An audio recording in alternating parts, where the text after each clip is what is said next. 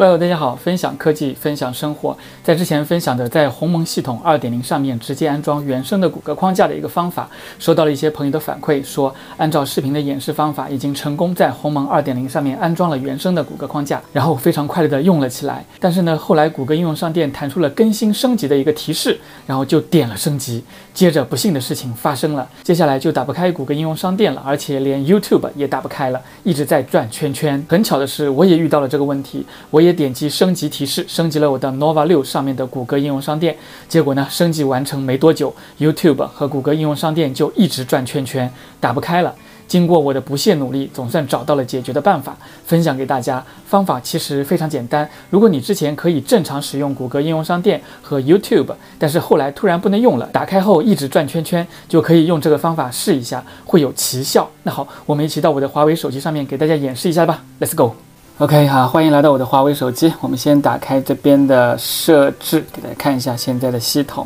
系统和更新。然后这边的软件更新，现在的话是 Harmony OS 两点零的最新的一系统。我们检查一下系统更新，看有没有最新版本。OK，已经是最新版本了，没有更新的了。因为今天我已经收到了一个新版本推送，然后我也已经升级过了，所以说现在这个 Home Harmony OS 我这边 Nova 六上面是最新的一个 Harmony OS 的一个版本。OK，你可以看到这边的那个谷歌框架已经装好了，这边的 Google 就在 HMS Core 的下面，这个 Google 已经是安装好了。OK，让我们我们回到桌面，就之间这边的话是谷歌应用商店，我们可以打开它。大家可以看到现在的话，它是可以正常打开的。之前的话，我在之前的给大家说过，就是如果说你打开了以后的话，这边它一直在转圈圈，是一个白色的一个呃屏幕。你打开了以后，这边是一个白色的一个屏幕，然后呢这边有一个圈圈一直在这边转圈圈，你是打不开这个呃谷歌应用商店的。包括这个 YouTube 你也无法打开的，就这边的 YouTube 你也是打开不了的，也是这边有个白色的一个画面，然后在这边转圈圈。那这个时候怎么解决呢？那我们这个时候的话需要回到桌面，怎么样解决呢？其实很简单，包括呃 Gmail 什么还有 YouTube Kids 啊这些都呃打不开，都会转圈圈。那这个时候怎么解决呢？我们打开这边的设置，在设置里面然后往上拉，拉到这边的一个应用和服务，点击打开应用和服务，然后点开应用管理。然后进去以后，我们搜索 G O O，G O O，然后呢，我们这边就右上角的四个点，点它一下，显示系统进程。就这边显示和隐藏嘛，现在是隐藏，点它就隐藏了。点显示的话就显示系统进程了。这个时候的话，这些谷歌相关的一些框架，你要做一个什么动作呢？就是把这里面的所有的这些跟谷歌框架有关的一些呃程序全部清空它们的内存就可以了。我们先一步来做，先第一个，呃，然后这边的存储。删除数据，第一个删完了，然后谷歌服务框架，我们进去存储，删除数据，然后两边都灰色了，这上面两个都变成灰色了，然后这边再返回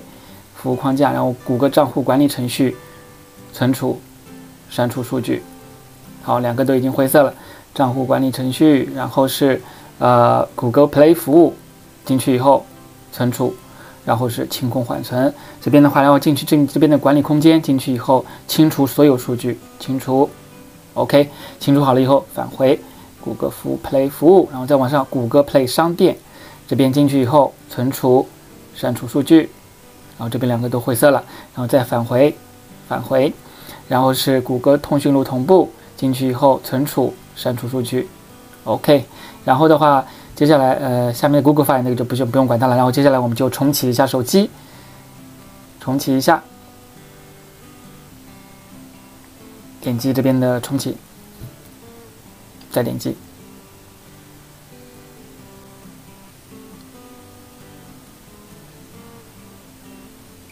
，OK 啊，然后我们手机已经重启过了。那接下来的话，我们再点再次点开这个 Play 商店。当然，第一次点开的时候的话，可能需要等待比较长的时间，因为刚才你已经把这些，呃，应用的这些缓存全部清理掉了，所以说第一次打开可能会等待比较长的时间。就是这边会有一个谷歌 Play 商店的一个图标在这边，然后你只要耐心的等待，等待它最终就是跳出这个这个谷歌应用商店那个界面，就可以正常使用了。包括这边的一个 YouTube 也可以正常的打开，就是里面可以正常的一个。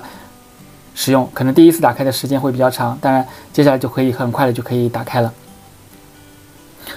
OK，其实这个方法还是比较简单的，也就是说它原理就是清除这个这些谷歌框架的一些谷歌的那些套件里面的一些应用的那些缓存，清除了以后重启手机，然后再打开这个谷歌 Play 应用商店，就可以正常的去使用了。你可以试一下这个方法，我觉得可以解决大部分人的一个问题。OK，欢迎关注点赞，我们下个视频再见，拜拜。